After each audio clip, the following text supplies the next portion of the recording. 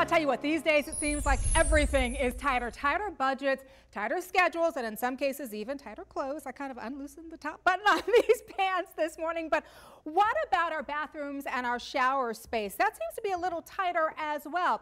Well, we've got our master carpenter, Joe Campbell. Follow me, if you will, over here to a bathroom that he made. He kind of built this bathroom to illustrate how you can make a tighter space feel roomier. And helping me out this morning is our special guest, Colleen O'Connell. Good to meet you this morning, Colleen. Good to meet you, Danielle. This is really interesting because we're tied up in here. If I wanted to do a bust a move, I didn't have any space to do that, right?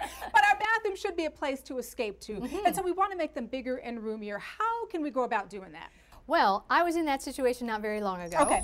And when I downsized, I went to a bathroom about like this, unfortunately. Really? And so I, I had a straight rod, and what I wanted was more room in the shower. So I went and I bought a, cur a curved shower rod, okay. put it up, it was perfect. I got more room in my shower. But what it did was what you see. It gives me less room. It makes in, the space right. tighter. Imagine if there was a sink right where you are. You would have no space at all to do anything. And don't try to put a toilet in here. You just really. Right, right. So what I did was I made the, the standard curved shower rod rotate. So Are when now, serious? right? So you have more room in your shower, but when you're all finished, you flip it over, and your bathroom just got instantly bigger. Women across America are loving you right now. I want to talk about the feedback. What are saying about this? Well, mostly it's thank you because, you, as you know, we talked a little bit earlier. Sometimes you have three and four people in here. There's just no space, and then other times it's your refuge. When it is your mm -hmm. refuge, you want space. You want more space. And so this gives it to you. I love this. I want to talk a little bit about our unmentionables because as women, you know, we want to put our lingerie, yes, our bikinis, yes, yes. all that stuff up there. Does this allow for that? It does.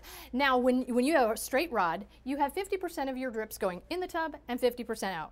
When you have a curved rod, you have 100% cool. going out. But now you have the ability to hang everything up and when you hang it, it all goes in the tub. I love that. Let me talk about uh, kids and pets. Mm -hmm. um, I've yes. got both. So uh -huh. the water tends to be all over the bathroom. Seems like there's more water outside than inside. It's so true. How does this help? Well, again, when you need more room in your in your tub, Normally, you would have to open the whole shower to get the room that you need, the, the, elbow room. With this, you don't need to. You can wash, you can wash your kids, you can wash your, your pets. It's great. And then when you're finished, you get the space back.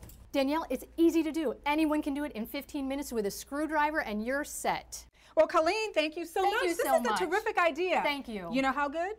I'm taking a shower right now. Go now. for it. Listen, I have three boys under the age of 10. I never get a chance to shower alone. Enjoy it's your not space. what you think. I will. Thank you so much.